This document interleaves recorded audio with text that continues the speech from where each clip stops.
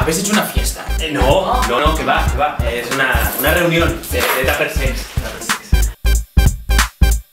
Estoy segura que en dos días todo el mundo va a llevar este color. Lo he usado para el logo de mi cliente. Que tu cliente es Perroski.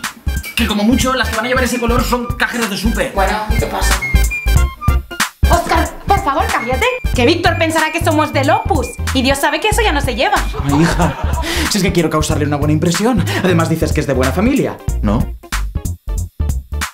Que quería hacer una quiche y se me ha olvidado cómo se hace. Saquemos los ingredientes. Y un puerro. Y si en vez de un puerro le ponemos un porro.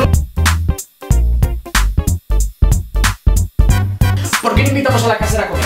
A ver, ¿pero qué ganamos invitando a una empresa de refrescos a comer? A quien tenemos que invitar es a la dueña, a Francesca. Claro, Francesca. Francesca es italiana. Le podemos preparar unas pizzas caseras. Yo tengo ganas de llevarme un buen plato tradicional a la boca. Sí, sí, sí. Igual si le decimos al padre de Víctor que lleva tofu, igual le gusta. Que el padre de Víctor es vegetariano. ¡Oscar, te mato! ¡Es que eres un consentido! ¡Estás mal de la cabeza!